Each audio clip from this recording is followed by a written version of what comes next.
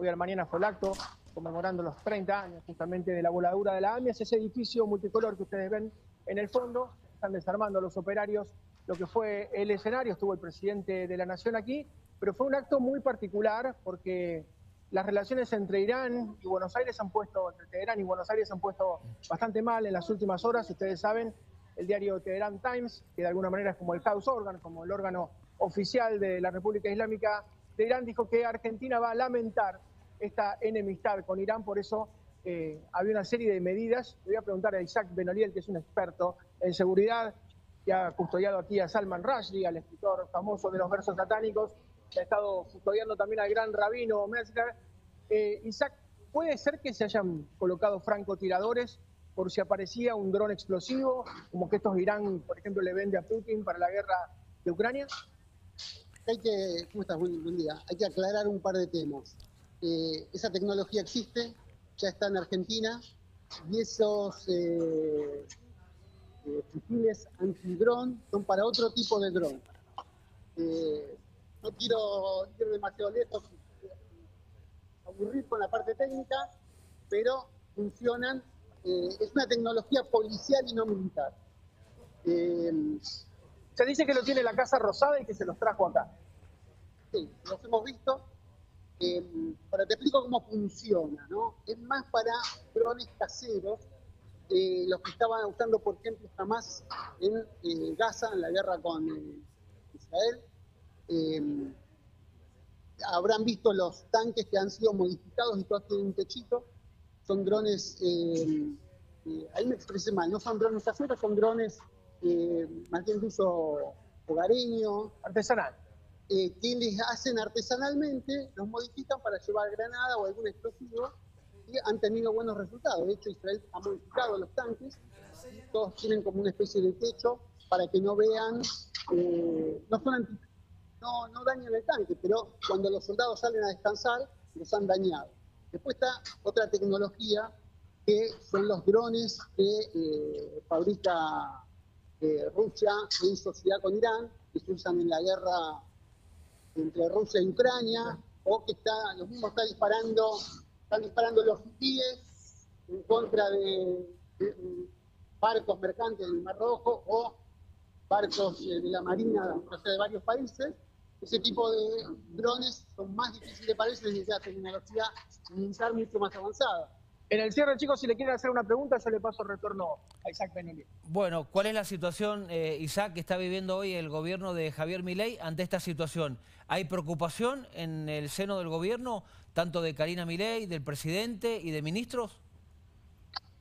No, es una pregunta como es complicada porque yo no estoy en el gobierno, pero eh, creo que la amenaza la tienen que tomar en serio, viniendo de quien viene, ¿no? Es el mayor, Irán es el mayor eh, exportador de terrorismo mundial hoy en día y eh, no se ha quedado solamente en amenazas, mm. eh, han, cumplido sus amenazas. En Argentina solamente tuvimos dos bombas y en el resto del mundo están fijando con, con sus proxies, como son los hutíes en Yemen, Hezbollah en el Líbano, y han tenido todo tipo de, atentados. O sea que espero que lo tomen en, en serio. fíjate que en este trabajo cualquier falla se, eh, se convierte en, un atentado, en algo realmente trágico. Ha pasado incluso, sin ir a, eh, más lejos, a Estados Unidos en el eh, ataque al expresidente en campaña Donald Trump. Una, falla fue que casi le cuesta la vida. O sea, acá no no hay lugar para equivocaciones, lamentablemente. Isaac, en otro orden, pero también dentro del mismo marco, ¿no? ¿Vos ves en el mundo un recrudecimiento o un o un reinicio tal vez del antisemitismo. Digo, semanas atrás veíamos algunas manifestaciones, por ejemplo, en universidades norteamericanas, episodios que pueden parecer aislados, pero que no dejan de ser preocupantes. Sí, eh, obviamente desde el 7 de octubre, cuando fue la masacre en Israel, eh, al otro día, el 8 de octubre, Hezbollah en el norte empezó a, disparar hacia Israel y hubo una fuerte ola de antisemitismo. Lo que hay que aclarar que no es ni gratis ni espontánea. Hay gente que estuvo trabajando para eso. Eh, en Occidente es difícil de entender porque mucha gente que apoya eh, al grupo terrorista eh, hemos visto, por ejemplo, que van con banderas LGTB. Es una incoherencia total. Imagínate que si fueran con esa bandera a la franja de Gaza o a cualquier lugar del Medio Oriente que no es Israel, terminarían muy mal. Israel es la única democracia real que existe en Medio Oriente eh, donde pueden respetar derechos de mucha gente que piensa distinto, no solamente el, grupo LGTB, ¿no? Sin embargo, apoyan.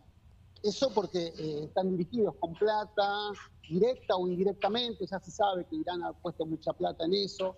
Eh, la izquierda que lo maneja un, tiene un antisemitismo latente, entonces va a apoyar a, a, grupos que a ellos también los perseguirían, ¿no? Marcelo, el cierre todo tuyo.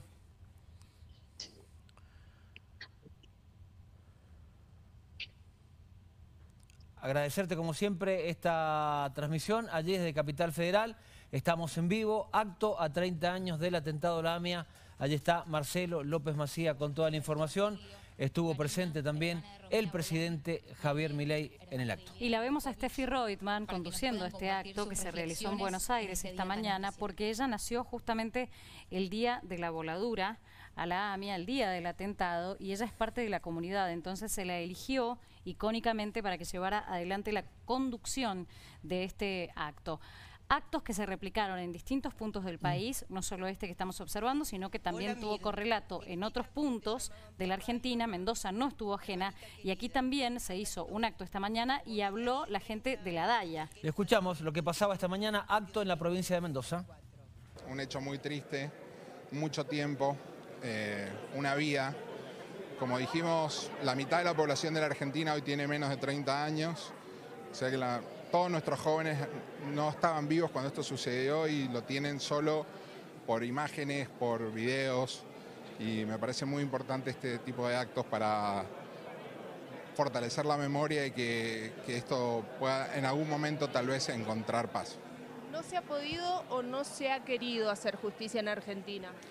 Entiendo que no se ha querido. De hecho, hay tres causas. Eh, una causa principal que es para encontrar a los responsables y dos causas más que tienen que ver con encubrimiento. Y la única causa que tiene condenados es la del encubrimiento, que se buscó no encontrar quienes habían sido, eh, ensuciar las pistas y confundir.